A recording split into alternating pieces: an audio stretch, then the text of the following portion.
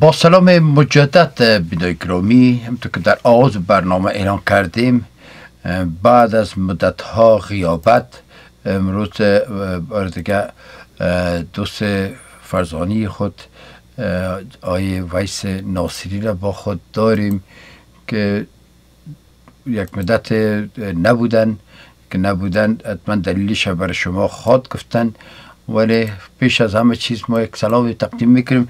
ناصری بزرگوار برای شما سلام تقدیم می‌کنیم. ممنون که بعد از مدت ها در ماه مبارک رمضان شما را باز در صفحه تلویزیون می‌بینیم. زنده باشین. عرض سلام ادب دارم خدمت حضور شما دوست فرزانه و عزیز خالد جان. و همچنان خدمت همه دوستان و بیننده خوب شما در سر تا سر جان پوزش می طلب نزدیک چندین ماه متاسفانه نظر به مریضی و شفاخانه و جنجالایی برم پیش شد. غایب بودم و در حضور همتان نبودم در خدمتشان نبودم. الحمدلله هم مسائل و جنجالا فعلا به خیر گذاشته و دوباره آیسته آیسته به کار مطبوعاتی خود شروع کنیم. خدا را شکر گذار هستیم ولی باز من وطنان عزیز ما شاید پرسان کنن که ای مدت که به اصطلاح نبودین آیا بودین کجا بودین؟ چی کردین؟ و فعلا فعلا گفتین؟ خیلی چند دقیقه اگه توضیح بتین خوب است که هموطنان ما واقعا در این مدت زیاد سوال کردن همیش پیام بگذاشتن که آقای ناصری کجاست؟ یک تعداد تا میفتن آقای ناصری قار کردن چی کردن؟ با مدبعات بریدن. خوب است که یک هموطنان ما مطلق متنی شوند. بفرمایید خالص ماه سپتامبر سال گذشته معاینات عادی و طبیعی روند عادی معاینات خون و سیحی خود داشتم که در او قیمت پروستات یا قیمت پیسا بلند بود. دکتر که گفتم متوجه نشد گفت قدر قابل تشویش نیست. اما تصادفا خودم به پای خود پیش دکتر پروستات و دکتر اورولوژی رفتم. یک دکتر پاکستانی بود گرچه با مردم پاکستان ما مشکل نداریم با دولت و سیاست پاکستان بسیار مخالف است.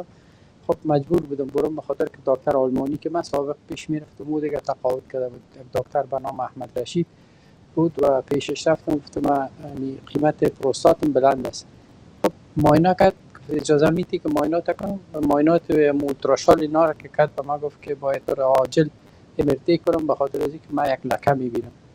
و بعدا بعد از اینکه مرتی آمد نتیجهش و ثابت شد که من سرطان پروستات دارم.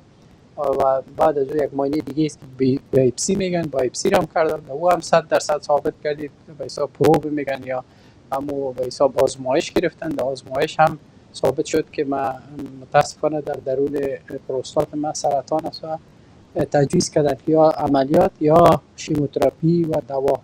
ولی دکتر رشید وقت برای گفت و تعریف کرد و افشا کرد که خودش سرطبیب یک شفاخانه بسیار مشهور آلمان بوده و بسیار 11 سال در طب همی اورولوژی کار کرده و سرطبیب بوده آدم لایق است.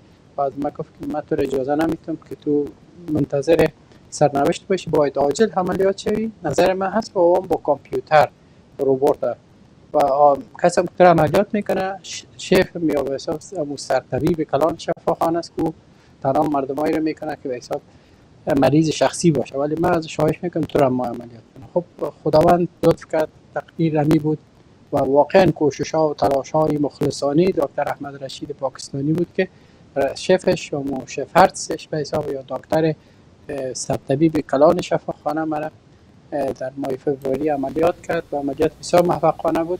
اولین چیزی را که بعد از عملیات و فردای و عملیات برام آمدن گفتن همین بود که ما برای تبریک میگیم عمر دوباره کرد که همه حجرات سرطانی رو ما کشیدیم. باید دشار نکده بود. ضرورت به شیموتراپی و یا شیمو شیموتراپی که من میگم دیگه نمیفهم به فارسی میاد فراموش کردم. کیمو دیگه؟ کیمون ضرور نیست دوا هم نمی‌گیری هیچ چیز نمی‌کنی خدا شکر. بعد از اون مخالص یعنی واقعا که عمر دوباره میگن و من هم نوشتم که 60 سالگی یا تولد دوباره در فیسبوک. همی واقعا یک خبر بسیار کلان نوید خوش بر من بود که دیگه وجرات و دیگه ارگان های وجود سالم بود. هیچ نوع شیموتراپی و دوا و اینا. ندارم آهسته آهسته دوباره بر روی پای آمدیم و راه میگردم و قدم می‌زنم. البته چند ماه باید استراحت کنم مرا گفتن با مطبوع سر کار نداشته باشید یعنی از این لحظه که می‌خوای خداحافظی کنی؟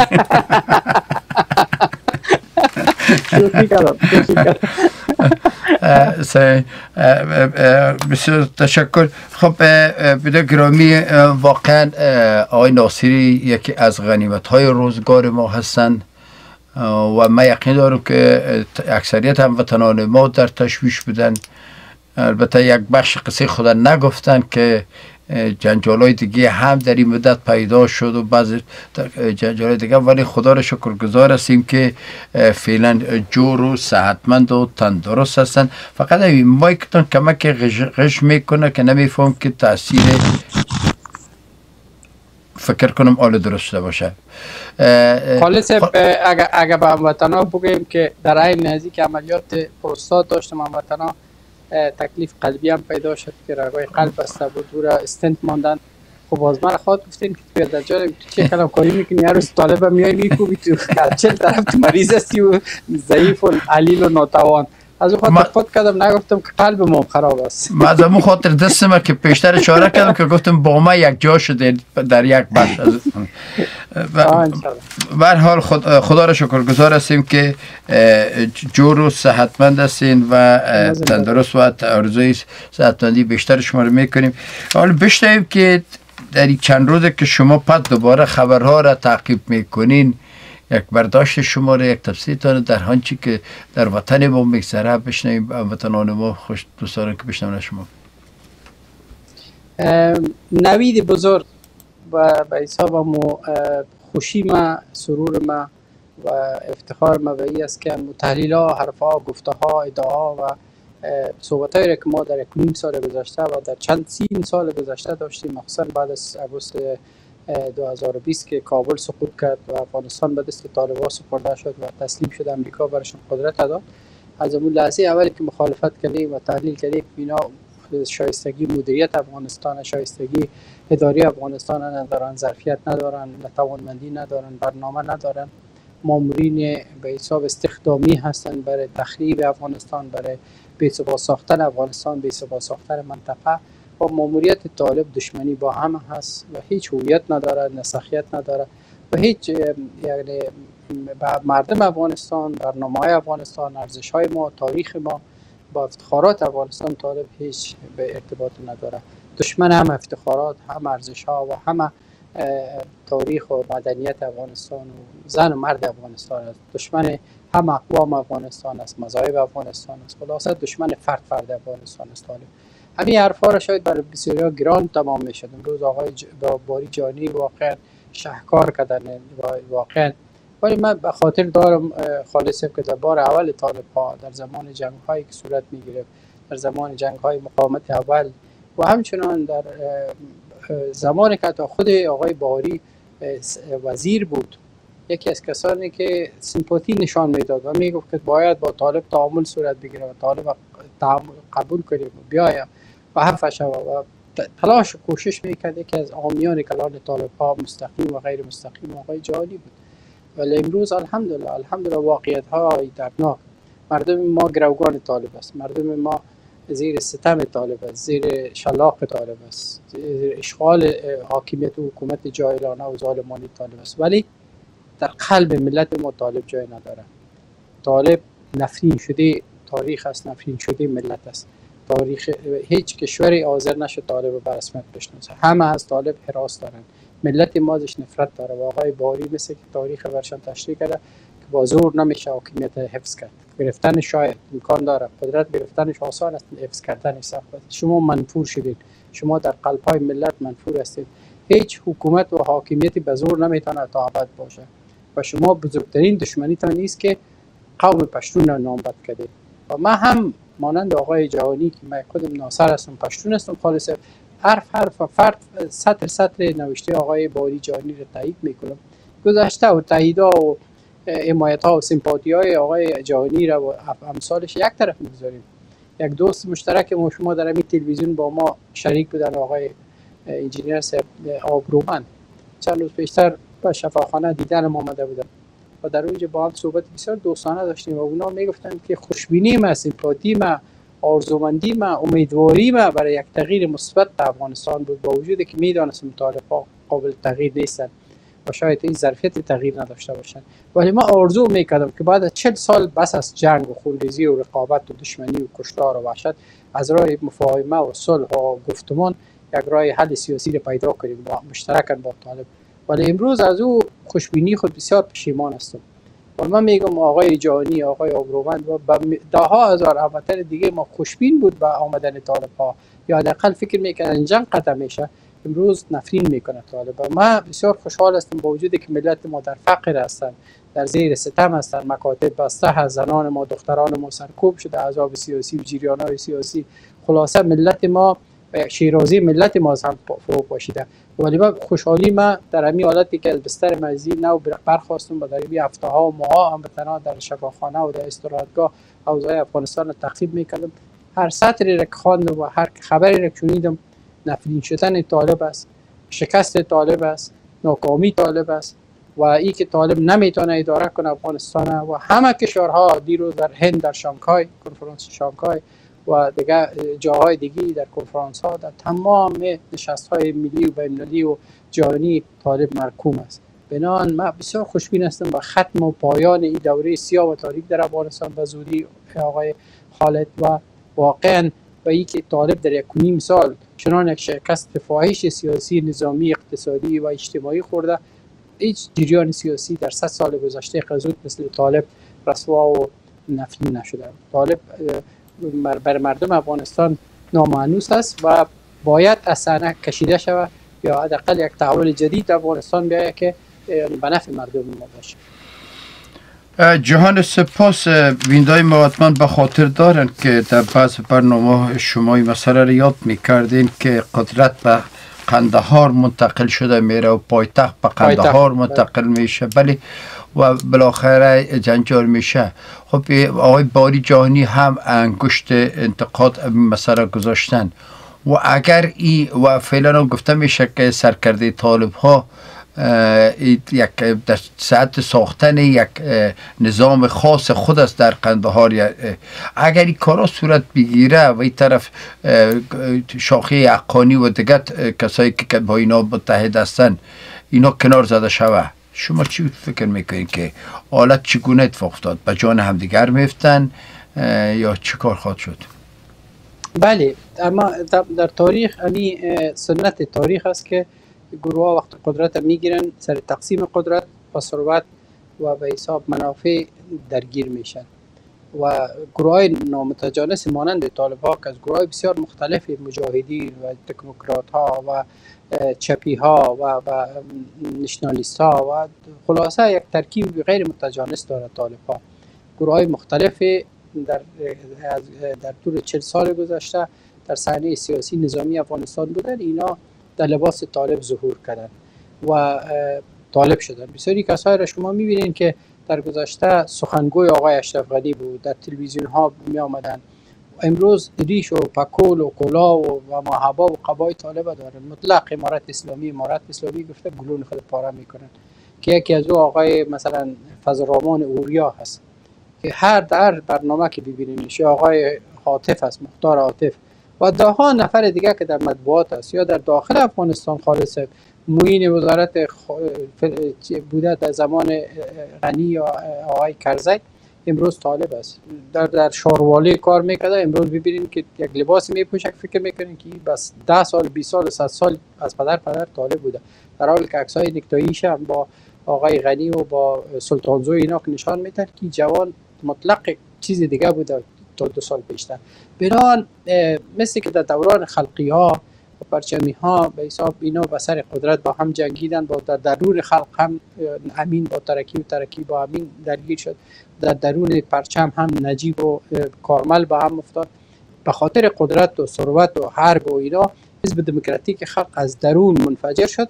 ولی بر خطوط قومی و سمتی و زبانی و اینا یک بار به نام ایدولوژی جمع شده بودن ولی در پایان خط و در پایان روز اینا در خطوط قومی و سمت منطقه پاشیدن. احزاب جادی هم عین شکل شد. وقتی قدرت گرفتن تشت رسوایی مجاهدین از بام فرو پشت و فرو ریخت. و ما دیدیم که به خاطر قدرت اینا از همه ارزش هایی که پیش از سقوط نجیب می‌گفتن پیش از هیچ از رهبران مطرح نبود. بر خطوط قومی و سمت و منطقه و اینا اطلافات صورت گرفت و بر مقابل هم استاد شدن کابل ویران شد افغانستان ویران شد ده ها هزار انسان کشته شد و رئیس جمهور با صدر و صدر با رئیس جمهور می جنگید در 4 کیلومتری کابل.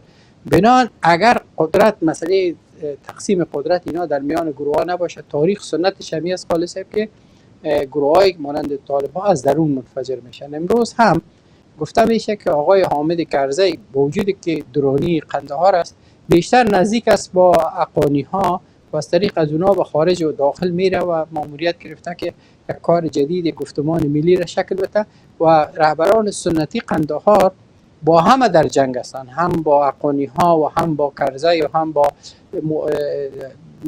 طالب های معتدل و هم با تمام جریان ها بنان در چی در کوتاه چی دراز چی زمان به حساب طولانی یا کوتاه طالب ها در اساس اختلافات درونیشان جنگ قدرت مسائل متاسفانه سمت و منطقه و امو لوی قندهار و لوی پکتیا اینا غلجایی و درونی و داها دلایل مختلف اینا با هجان هم میفتن و همچنان پاکستان هم اینا را آرام نمیماند. پاکستان از طرف طالب خود احساس خطر می‌کنه.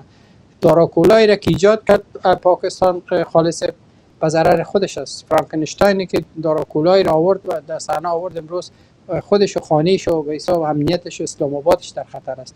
اینا می‌خواین بیرق امارت اسلامی را این تا تا کراچی و تا اسلام آباد و تا جای دور بلند کنن در آسیای میانه بلند کنن بنابراین این موضوع پروژه داعش و انتحار و انفجار و کشتار و وحشتی که در افغانستان فعلا جریان داره طالب با اون سلایی که به قدرت رسیده با اون سلا ما بارها گفتیم و بازم میگیم که با طالب میجنگن و طالب از بین می‌برن. یک گروه جدید ایجاد می‌کنن.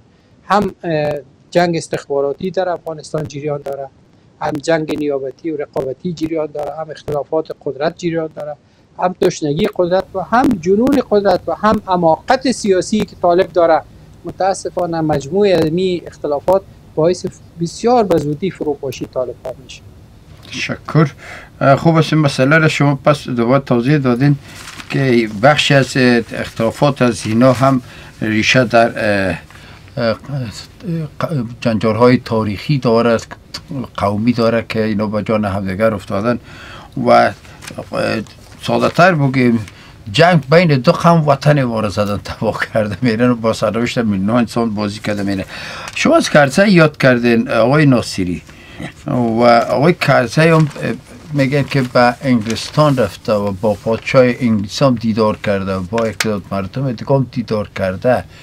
حالا معلوم نیست که از کدام آدرس که شما ضمن اشاره کردین که از آدرس حقانی رفته و در دیدار با پاچای انگلیس هم کار ساده نیست که هر کس بره پاچای انگلیس ببینه. حتما پلان هایی هست. چی فکر می‌کنین؟ این سفر از آدم به چی؟ به انگلستان اول که طالب اگر طالب ها نمی‌خواستن اجازه نمی‌دادن آقای کرزی از افغانستان خارج نمی‌شد. مثل که در یک سال اول نمانده و حالی که می‌گذارن که آقای کرزی برای اجازه داره که صحبت کنه پس به داخل افغانستان میره. معنایش است که یک بخش از طالب ها با کرزی یعنی تفاهم دارن همکاری می‌کنن. مسئله دیگه ای است که ما با وجودی که در صدای امریکا و روز برنامه روکراس مرا دعوت کرده بودن اونجا گفتم با اساس بر, برخل با وجود تمام انتقادهای بسیار شدیدی که در طول حاکمیت 13 سالی آقای کرزی ما داشتم و بعد از حاکمیتشون همیشه در هر برنامه ما دو سه موضوع را همیشه تکرار یاد می‌کنم. یکی جنایت که حزب دموکراتیک خلق من حیث بانیان امی تحولات منفی و بدبختی و فلاکت و سیاروزی که در 44 سال گذشته افغانستان با او مواجه هست آمی و بانی هست و و اساس گذاری بدبختی ها حزب دموکراتیک خلق و کودتای هفت سور است. که البته در کودتای 26 سرطان هم حزب دموکراتیک بخش پرچم نقش بسیار کلیدی و قاطی داشت و داود خان بازی دادن. ولی در کشتار فامیل داود خان و مرحوم داود خان نقش بازی کردن و بعد از اون تا به امروز در جنایتی که در افغانستان صورت می‌گیره تمام مسئولیتش به دوش حزب دموکراتیک خلق است. و دو مسئله که من در گفتار خود همیش نقد می‌کنم ببرک امریکایی و یا حساب کسی را که امریکا به قدرت رسان مانند به حساب ببرک روسی باره کرزی بود که بر سر توپ تانک امریکا آمد و در بن تحمیل کردن با دو رای نو رای استاسیرت به حساب بود و به خاطر از که از جنوب است و پشتون است و درانی است به قدرت رسید. متاسفانه. و این معامله و مادره کرزی آوردن امریکا. ولی ای که در طول این 20 سال گذشته و 20 چند سال گذشته متاسفانه بدبختانه دلار امریکایی حضور امریکا فرهنگ امریکا وابستگی به غرب و ناتو و امریکا و حیاشی و فاشی و به حساب زدگی و دنیا زدگی و تجمل پرستی رهبران سیاسی چپ و راست که در افغانستان حضور داشتن از مجاهدین گرفته تا تکنوکرات ها و نشنالیست ها و دموکرات ها و کسایی که از غرب رفتن از شرق رفتن از هر جایی که داخل افغانستان رفتن فاسد شدن. ما متاسفانه خالص به تبارز یک رهبر ملی یک رهبری که از متن و بطن مردم بر بخیزه و بتانه وجاهت ملی داشته باشه و ظرفیت ملی داشته باشه و استعداد و کریزمای رهبری افغانستان داشته باشه در شرایط کنونی ما متاسفانه به خلای کلان مواجه هستیم. با تمام انتقادایی که شخصا ما به کرزی کردیم و می‌کنم در صدای امریکا هم گفتم و در امروز هم بر شما میگم که هیچ رهبر سیاسی که امروز در حضور داره در صحنه چی در خارج افغانستان چی در داخل افغانستان هیچ رهبری بر آقای کرزی یک آدم زیرک و کارکشته و با برنامه و یک آدم با فهم نیست که وجاهت ملی داشته باشه ارتباطات ملی داشته باشه نظریات ملی داشته باشه. و در زمان از او تمام عذاب و جریان های چپ راست افغانستان خانه از شده باشه. دموکراسی و آزادی بیان آمده باشه. و ترویج آزادی های بیان و فعالیت های احزاب سیاسی و نشرات آزاد و مطبوعات آزاد و تلویزیون های شخصی و آزاد باشه. واقعا دوران آکرزه بی سابقه است در تاریخ 100 سال گذشته افغانستان. با تمام انتقادایی که بر کرزی با فساد اداریش داشتم با فساد مالیش داشتم با فساد اخلاقی که بود با فساد متاسفانه سیاسی که در افغانستان جریان داشت. خالصه من به نوشته و قلم خود و به گفتار خود هرگز فراموش نمی‌کنم. ولی من سوال می‌کنم از هر هموطنی که بحث بشنون که برای من یک مثال بتن که به مانند آمد کرزی یک رهبر دیگه هم در افغانستان است که همین توانایی را که کرزی داره و یا در زمانش بود عملا ثابت هم کرد که یک دموکرات است آزادی اندیش است. هر کس به آزادی بیان و فعالیت سیاسیش گذاشت سرکوب نکرد. ترور نکرد اختناق نکرد مثل غنی واره گروه تروریستی نداشت که ترورای هدفمند کنه. یعنی واقعا در زمان کرزی اگر کرزی شخصا مردم دوز در آغوش گرفتش با این تجربه بود. با تمام گیجیرانه چپ و راست افغانستان داشت. با جنرال دوستان رابطه امو قسم رابطه داشت که با دیگه گروه های شمال داشت. با گروه های جنوب داشت. با با حزب اسلامی داشت. با افراد نزدیک با آقای حکمتیار داشت با طالب ها داشت. طالب برادر گفت در آغوش گرفت برای طالب لابیگری می‌کرد امروز امی کرزی یعنی با تمام نواقصی که از نظر اداری فساد دیگه در زمانش بود ما بدیل کرزی در تمام رهبران سیاسی معاصر افغانستان نمی‌بینم. و اگر فعالیتی کنه برای تشکیل یک گفتمان ملی و بتانه که یک گفتمان ملی شکل بده که همون جبهه مقاومت ملی و مقاومت و منعف مقاومتگران و جبهه آزادی و اینا ده ها جبهه که ایجاد موجودیت کردن یکی از اونا هم نتونستن که ده نفر در میور یک مقاومت جمع کنن. احمد مسعود استعداد خارق العاده و نیکی هست ولی کریزمای رهبری افغانستان نداره متاسفانه. نتونسته جمع کنه. تا هم افراد نزدیک به خود و جبهه مقاومت و کس رهبران سابق مقاومت که در مقاومت اول در کنار عامر شهید بود احمد نتونست در کنار خود جمع کنه. بر هر دلیلی که بودی که نقص مسعود احمد است یا نقص از او رهبر است.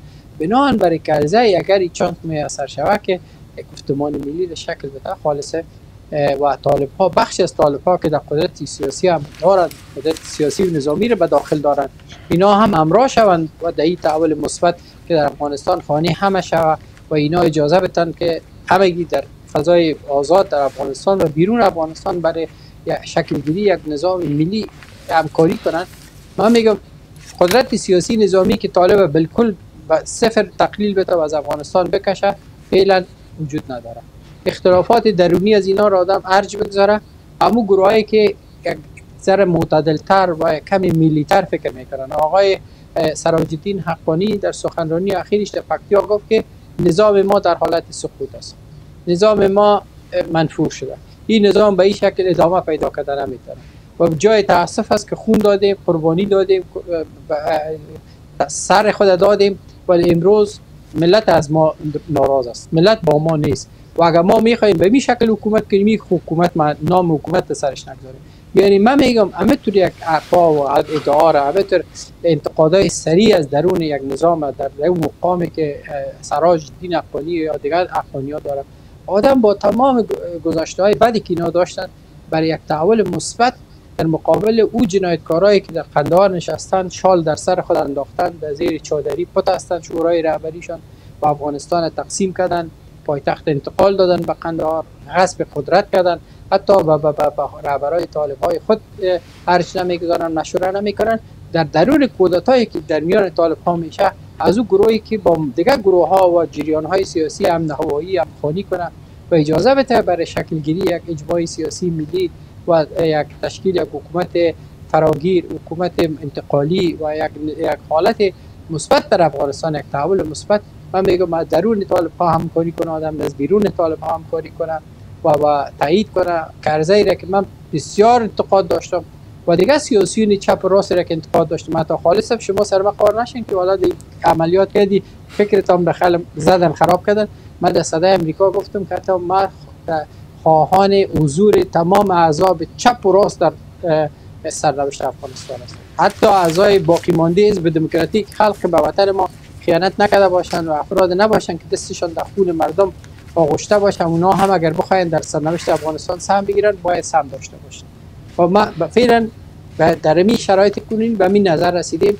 و حرکت کرزه که اگر در پشتش یک تحول مثبت در افغانستان بیاید من حیث یک فرد افغانستان تایید می‌کنم که خدا کنه که ما قادر به پیشرفت یک قدم شیم چرا؟ کسایی که در دبی شدن کسایی که در استانبول ششتن خالصه کسایی که در خارج نشستن کسایی که چشم امید بودن که اینا یک مقاومت شکل میتن در دور اول در مقاومت بودن اینا را دلارای امریکایی 20 سال حضور امریکا وابستگی های اقتصادی و سروزدگی و تجملگرایی و قصر نشینی های از اینا اینقدر اینا را ذلیل ساخته که حتی از یک مصاحبه و یک چهار حرف ملی اینا عاجز هستند خالص. متاسفانه میگه اگر کس است اگر در خانه کس است اگر در خانه کس است یک حرف بس است.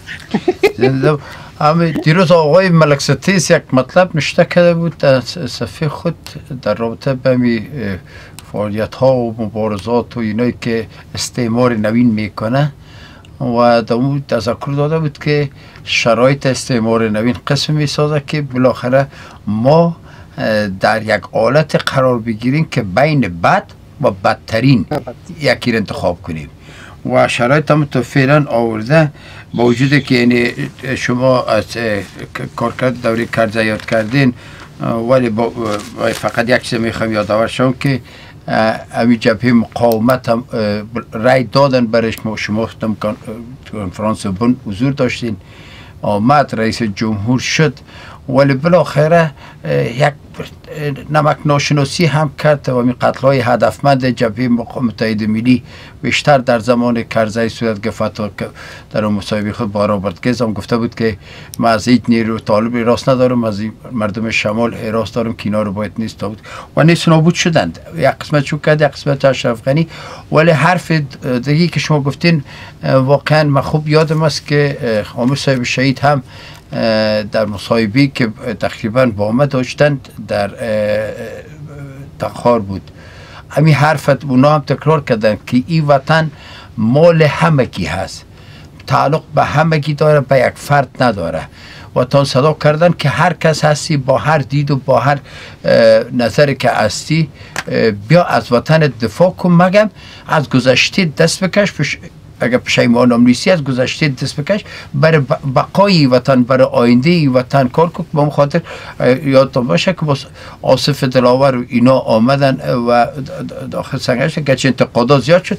ولی امروز هم گپ شما که وطن در یک حالت هست که برای نجاتش باید همگی کار کنن. اما چی بهتر بله. است که بگذرن از او ایدئولوژی های فاسد و به مفهوم گذاشته از عملکردهایی که باعث تبایی ملت شد. بیاین نمی با یک دید بسیار باستر همونطور که شما توضیح دادین ناصری عزیز بیاین برای بقای وطن برای آینده وطن برای فردای وطن که فردای حاری از جنگ و خشونت و بدبختی باشه تلاش کنن. من فکر می‌کنم که چی هست؟ کار مسمر خود باشه. پیشتر در خبرها آمد ناصری که مولوی عبدالکبیر معاون رئیس الوزراء سابق بود که میفتن پوهان دکتر فلانی وزیر فرای جای دانشمند چی؟ ولی حال کلش با مولوی ملاست که نام مولوی ملا رو می کردن. ولی پیشتر گفت که من دیروز در صحبت که با نماینده ملل متحد داشتم بر از نو گفتم که شما تعریم ها رو بردارین.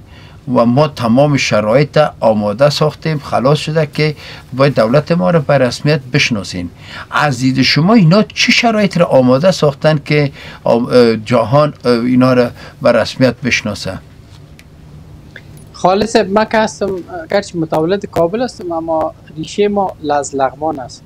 و من میگم که مردم لغمان هم آزرده نست چون باعث یک لغمانی سر لغمان فکایی میگم یا پرزه میگم. که مولوی کبیر کار لغمانیگری می‌کنه. ما را اول به رسمیت بشناسین با ما شرایط شما قبول می‌کنیم. این نگه بره کمران خان گفت اول که تزیاد تعامل کنین به رسمیت بشناسین با سرشار فشار بیارین. مردم حال این چالای لغمانیگری از یاره فریب نمی‌خوره که اول ما رو به رسمیت بشناسین ما شرایط مساعد ساختیم اما در پسخانه ها و زیرخانه ها شما نمی‌بینید که ما چی مساعد ساختیم. وقتی به رسمیت شناختیم باز ما زیر خانه هایی که طالب نشسته باز بر شرایط می‌کشیم که چی کنیم شرایط همی است وطن دار طالب عزیز که مردم میگه که حقوق بشر مراد کن. کشتار نکو حقوق زنها تحصیل کار زنها را مانع نشد زور زنها را در جامعه مانع نشد اعضاب سیاسی و جریان های سیاسی و بزرگان اقوام احترام بگذار.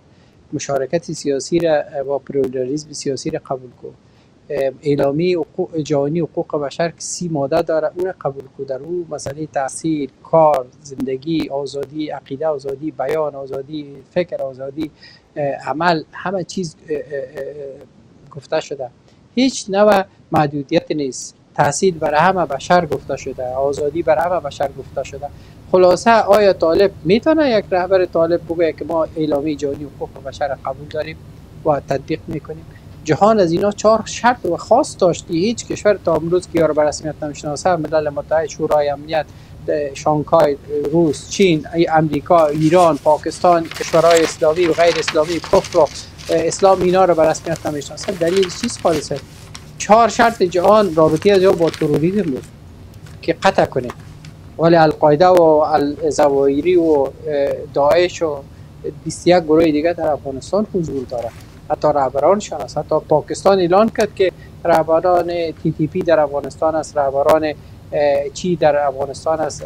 جیش محمد و سپاه صحابه بودن جهان گفت حقوق بشر حقوق زن حقوق مرد حقوق افغانستان مراد کنید. تشکیل یک حکومت مشروعی ملی کنید. شما کسب مشروعیت ملی کنید تا کسب مشروعیت بین‌المللی داشته باشید. اینا آیا این عملی کردن؟ آیا واقعا اینا را صدور مواد مخدر و افراطیت و صدور تروریسم از افغانستان قطع کردن. آیا افغانستان خودش به یک تهدید برای کل کشورها مبدل نشده زیر حاکمیت طالب ها متاسفانه طالب با جهان می جنگه و اینا دروغ میگن فریب میتن چال می‌کنن نیرنگ می‌کنن که ما را به رسمیت بشناسین همه شرایط آماده شده. کدام شرایط آماده شده؟ حکومتتان هنوز سرپرست است. قانون اساسی شما ندارین. نظام شما ندارین. حاکمیت حکومت ندارین. شما به شکل سرپرست. رهبر حکومتتان تا به امروز معلوم نیست. کجا هست. یک بار رو کسی ندید. پایتخت معلوم نیست. شورای رهبری در پایتخت نیست. کسایی که بیچاره در مابین کابل نشستن صلاحیت پوست کردن یک پیاز هم ندارن. هیچ نمی‌فهمن. نمی گفته میرن که انشاءالله انشاءالله مکتبون خلاصی حالا چی وقتی مکتب خلاص میشه؟ چی وقت پانتون آزاد میشه؟ چی وقت زنها و دخترها اجازه کار تحصیل؟ نه تنها خالص حقوق زنها و دخترها پامال است. او طفلای معصوم ما و شما که به مکاتب میرن اونا نصاب تعلیمی از اونا پوره هست. آیا امو امو امو کیفیت تعلیمی و تحصیلی در افغانستان واقعا یک بر صدم یک بر هزارم دوری گذشته هست؟ استادای پانتون استادای معارف های با مو شوق و ذوق میرن تحصیل درس می‌کنن به ده ها و صدها و هزارها استادای پانتون و مکاتب فرار کردن. خالصه. مکاتب فاقد معلم است فاقد شاگرد است ظرفیت است چیز ذوق و شوق قطع شده. مردم در این فقری که هست امکانات تایی کتاب و قلم و کاغذ بر اولاد خود ندارند ترانسپورت چه قسم است؟ مکاتب می خود ساختمان های مکاتب چی گونه آیا آیا فکر میکن در دوران خلقی ها کمونیستا یادتان است که نمی سطح سواد و دانش و تعلیم و تحصیل چگونه سقوط کرده بود؟ یک روز امتحان های ماهانه می گرفتن باز یک دفعه امتحان های سالانه می گرفتن باز یک دفعه امتحان های سی ماه می گرفتن هر روز امو نصاب تعلیمی تغییر می‌کرد امو شکل امتحانات و معارف. و خلاصه هر وزیر باسواد به گفته آقای جانی که مردم صنف 6 و 12 را آوردن وزیر ساختن به خاطر که عزیز بشان است عین شکل امروز است ملاشایی در افغانستان است. طالب همه قدرت منحصر به خود کرده و کسایی را به قدرت آورده هیچ نوع اونا ظرفیت ندارن. نه وزیر تحصیلات عالی یک روز یک, یک نهاد اکادمیک خوانده و می‌فهمه که تحصیلات عالی چی است. نه وزیر معارفش نه وزیر حساب و اطلاعات فرهنگش بنان طالب خالص به این شکل حکومت کردن و باعث نفرت ملت است.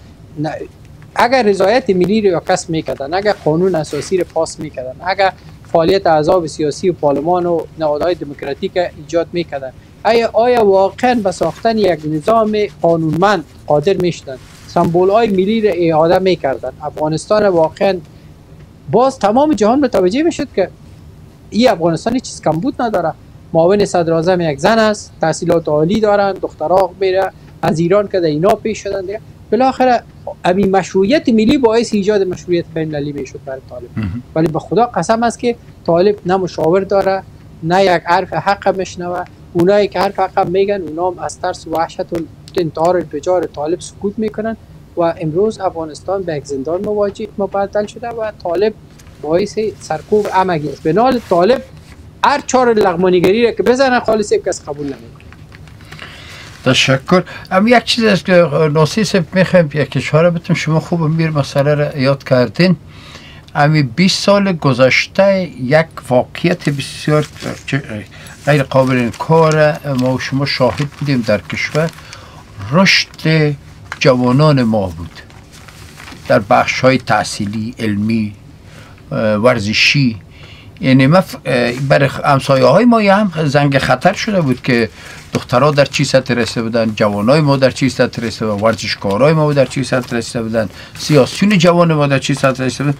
امروز پس دوباره هر کدام از اینا توسط طالب ها کوبیده شد و همسایه هم خوش هستند. امروز که دیگه خطر نه فرنگی اونا تهدید می‌کنه نه لحاظ ورزشی تهدید می‌کنه ورزشکاران ما شما بسیار در سطح بالا بود.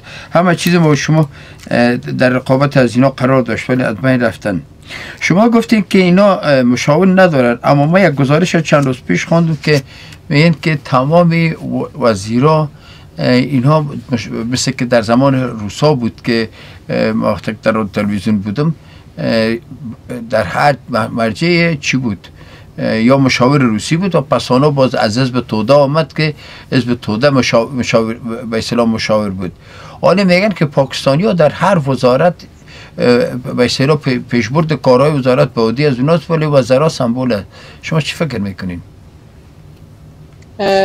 خب طالب ها از نظر ساختار فکری خود با او پاکستانی که مانند خودشان میاندیشند از مدرسه های دینی آمدن و از شبکه های به حساب امو آیس های از طریق مدارس دینی سر طالب ها تاثیر خود داشته و داره ولی از نظر نظاممند و قانونمند اینا امو ارتباطی را که با دولت پاکستان در گذشته داشتن بعد از خود به قدرت رسیدن و این امو چال را که امریکا چی کرد که به حساب دولت غنی را مجبور ساخت که تسلیم شوین به طالب و ولسوالی ها و تمام فرقه ها و ها و تمام سلاح و 7 میلیارد سلاح دست خورده را به گفتی آقای ترامپ برشان گذاشتن.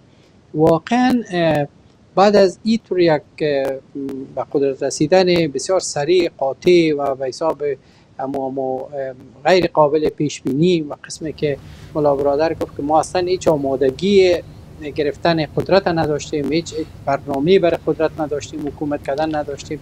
ما دفعتا مجبور شدیم که داخل بریم و همه چیز رها شده بود و ما مجبور شدیم که هر گام بگیریم وزارت ها بگیریم و صفر شروع کنیم و هیچ ما اصلا باورم نمی آمد که ما تا یک دو ماه آینده حاکمان افغانستان می باشیم این اعتراف هم به جای خود واقعیت داره مثل که به دموکراتیک خلق رهبرانشون می‌گفت که کودتا بر ما تعمیل شد. و این واقعیت بود که تعمیل شد به دلیل از این تعمیل شد که کودتا را کسی دیگه بر انداخته بود. روسا پلانای خود داشتن و این بیچاره را استعمال کردن رهبران طالبا هم استعمال شد.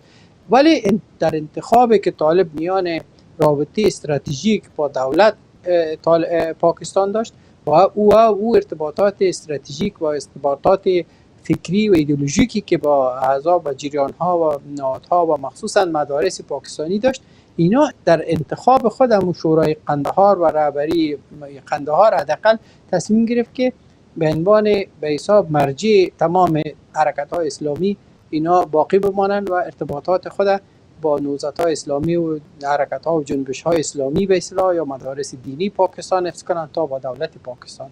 و دولت پاکستان هم مانند دولت اشرف غنی و دیگرها می‌تونه که در یک او ایاهو و در یک انفجار انتحار از بین بره. و چرا؟ طالب ها حاکم پاکستان اتمی نشن از که با عمران خان بسازن و یا حداقل با این شهباز شریف اینا.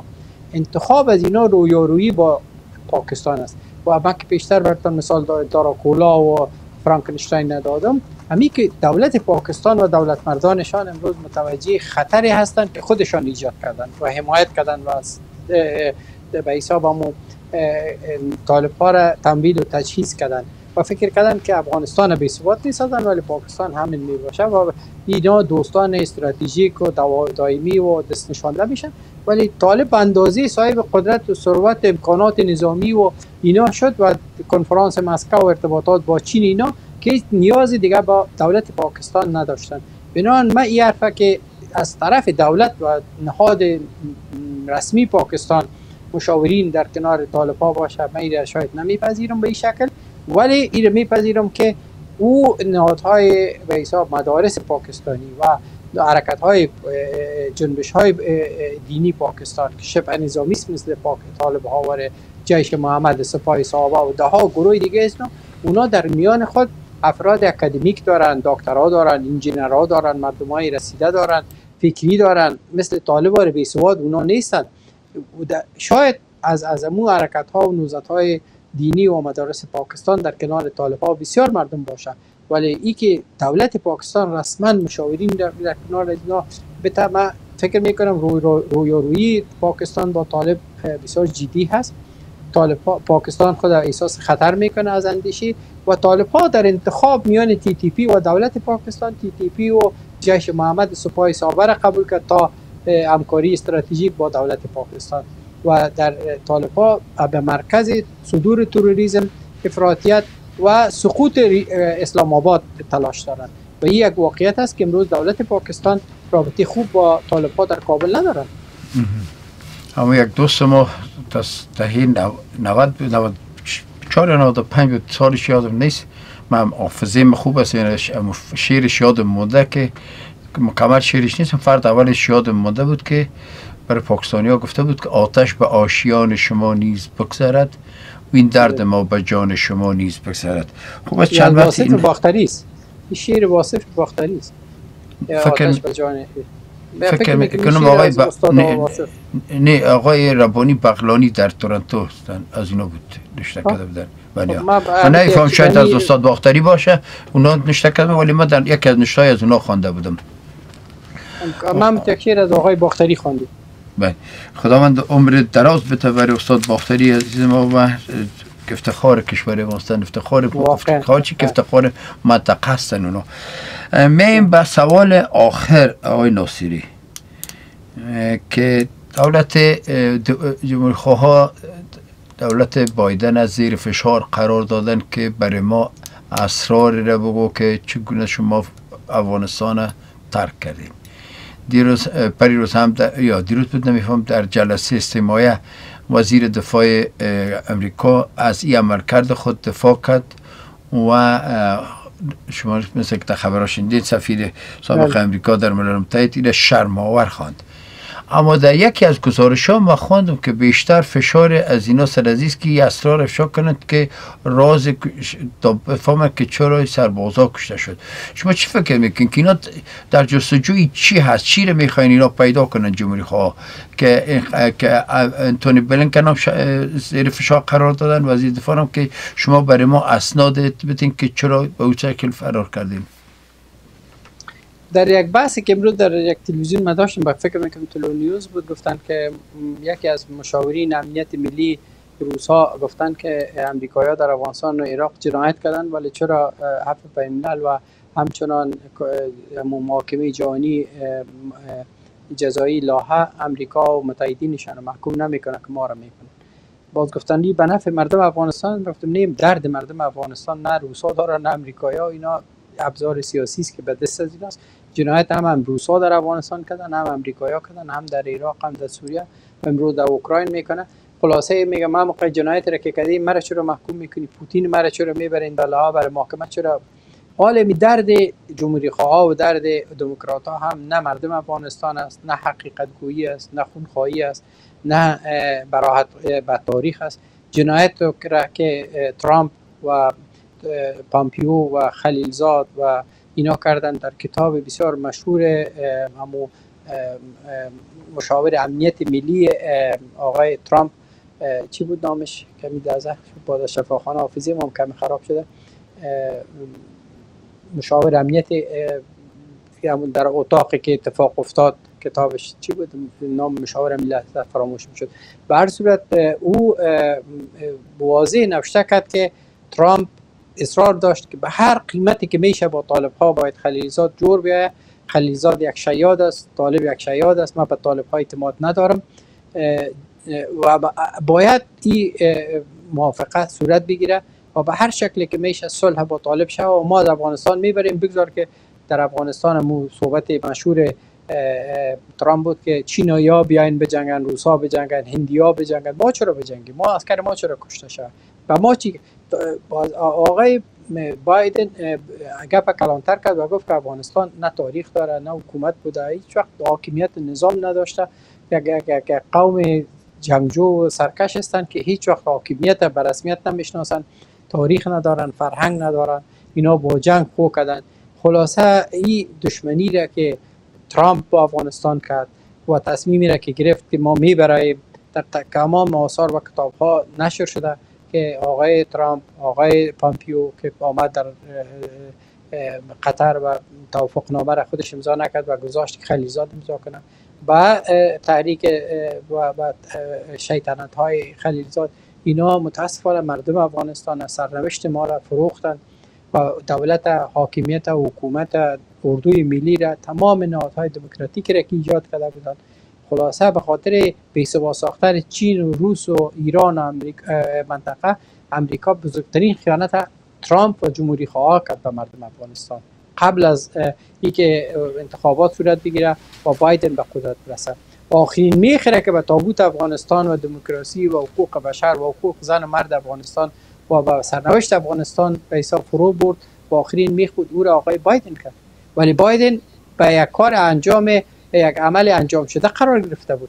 در آخرین روزا آمد و می‌تونست که چند ماه دیگر توقف بده یا تمدید کنه ولی کار نکرد. چرا آقای وقتی که پامپیو و خلیلزاد توافقنامه را امضا کردن در اونجا دو توافقنامه خالص نامده بود که تا که توافقنامه وقت عملی میشه و ما وقتی نیروها رو می‌کشیم که شما یک توافق سیاسی کنین بر انتقال قدرت تصمیم بگیرین اجماع سیاسی شکل بگیره و یک اسکر امریکایی از افغانستان خارج نمیشه تا طالب ها تعهد نکنن به این کارا. متاسفانه و بدبختانه حرفای امروز خلیلزاد تحلیل های امروز خلیلزاد نشان میده که بزرگترین خیانت برای فرار و خروج غیر مسئولانی امریکا ترامپ و اینمیا داشتن و مو به حساب مشاور امنیت ملی که بود از قصر سفید باز ترامپ خارج ساخت و او در کتاب خود افشا کرد که بزرگترین جنایت یک چند نفر محدود می‌کرد و می‌گفت در کتاب خود که من من حیث مشاور امنیت ملی که فرد دوم امریکا تقریبا حساب میشم یا فرد سوم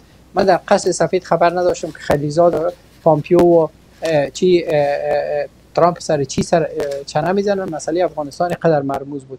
نه به سنای امریکا نه به کنگرس امریکا نه به نمادهای دموکراتیک امریکا نه به ملت افغانستان نه به غنی و عبدالله و اینا. کسی می‌گفت که در قطر چی میگذره. بنان بزرگترین خیانت به نظر من اول سنگ اول تعدا بشه جمهوری خواهان گذاشته ترامپ و تیمش و بعد از او بایدن با خروج از جولانه و غیر مسئولانی خود افغانستان تباه و برباد کرد هر دو از اینا خیانت کرده. هر دو دولت و دولت های امریکا خیانت کرده. از روزی که اینا داخل افغانستان شدن که آقای جورج بوش پسر گفت که ما خواب دیدیم که یک وحی شده بر من که من یک رسالت دارم که ما باید سرکوب کنم برام تروریسم کرزه پیدا کردن. بزرگترین خیانت اینا به افغانستان کردن. آقای اوباما به افغانستان خدمت نکرد و همچنان بعد این آقای ترامپ تا بایدن. متاسفانه اینا که دیگر به خاطر انتخابات قریب الوقوع امریکا زیر فشار قرار دادن. این مصرف داخلی داره ولی بر مردم افغانستان هیچ دولت امریکا خدمت نکرده مخصوصا در این 20 سال گذشته و هم از اینا مسئول بربادی افغانستان و همین شرایط فعلی است. بر خیانتی که بر طالب به قدرت رساندن و معامله کردن و امضا کردن و قدرت دادن هم حزب جمهوری خواه و هم حزب دموکرات هم ترامپ هم بایدن مسئولیت مساوی داره. و پیشمید برایت نداره مثل که روسا افغانستان تباه کردن برباد کردن حقوق بشر زیر پا کردن و امروز در اوکراین می‌کنن و در جای دیگه می‌کنن.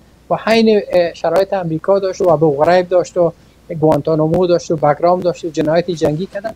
به نظر من یکی رو نباید به خاطر دیگه آدم برات بده و من در این بحث ها بسیار متاثر میشم که یگان کوشش می‌کنن که بگن که دولت بایدن باید محاکمه شود که چرا از افغانستان خارج شد. مسئول درجه یک و سنگ تعداد خروج ترامپ و خلیلزاد و پامپیو اینا گذاشتن.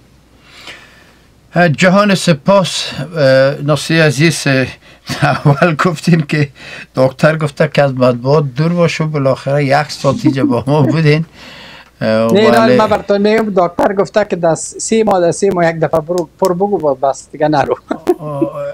خب یعنی هر روز باید یک هفته حساب کنیم. هفته دیگر خالص خالص هفته دیگر باز یک تداوی یک معاینات دارم به شفاخانه من می‌خواستم که هفته هفته دیگر خیلی هفته آینده شما رخصت هفته بعدیش بخیر. شما رو با برومن صاحب یک جا میریم که ببینیم که برومن صاحب چی گپای تازه دارن. شاید بیشتریات برومن صاحب نظرات ملی دارن. و برومن صاحب افتخار می‌کنن به دوستیشان به محبتشان به علمیتشان به استعدادشان. با اوسلام هستن زیاد.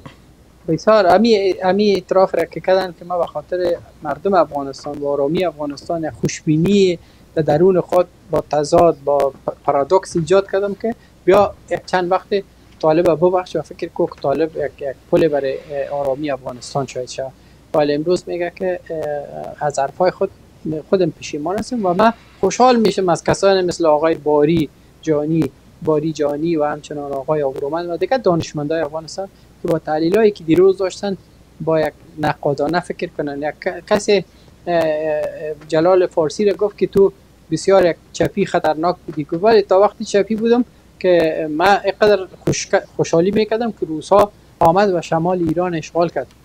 ولی در وجود مردم ایران که یک آزادی خواهی و حس غرور ملی را دیدم و با اشغال اشغالگر روس و تجاوزشان اساسیت نشان داد. از اون لحظه پیش خود فکر کردم که چقدر تو انسان ذلیل هستی که به خاطر تمایلات ایدئولوژیکی که پیدا کردی آزادی را مردم تا خاک تا وطن تا استقلال تا زیر پا می‌گذاری و برای اسکر روز چک چک می‌کنی از اون لحظه با ایدئولوژی و ایدئولوژی دادگی خداحافظی کردم.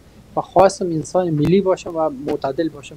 من میگم هر تحولی که در زندگی آدم میایه تحولاتی که میایه باعث رشد و غنامندی فکری انسان شوه باعث یک تغییر مثبت در فکر اندیشی انسان باشه خالص جهان سپاس. همیشه جور و صحتمند و تندرست و موفق و کامگار باشین.